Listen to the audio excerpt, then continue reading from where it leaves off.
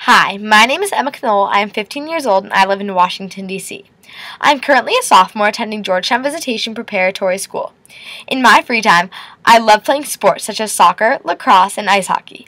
I also love photography, traveling, and doing community service. All my life, I've had a passion for helping others, but especially girls because we are the future.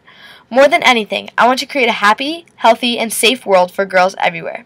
And as a Girl Up Teen Advisor, I plan to raise awareness for the problems that girls face every day. Also, I hope to help girls gain the freedoms and rights that they deserve.